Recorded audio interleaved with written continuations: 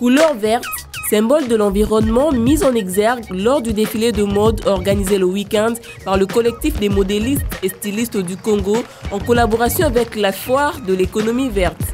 Une cérémonie organisée dans l'objectif de promouvoir la mode congolaise. Et pour les modélistes, l'occasion est pour eux de marquer d'une pierre blanche l'organisation du sommet de la francophonie à Kinshasa. Nous voulons que les gens convergent vers la consommation locale. C'est ça l'objectif. Pour que les Congolais trouvent leur euh, compte.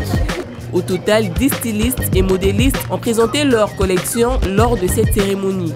Premièrement, je dirais d'abord un grand merci à tout le public qui était venu ce soir pour nous soutenir parce que, comme on dit, la première fois, toujours, ça semble toujours difficile.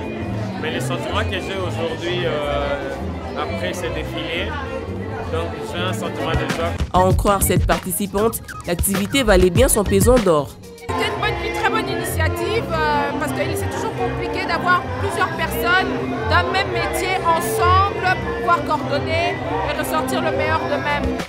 Dans le cadre de la semaine de la mode francophone, le collectif des stylistes fixe donc rendez-vous au Quinois le 10 octobre.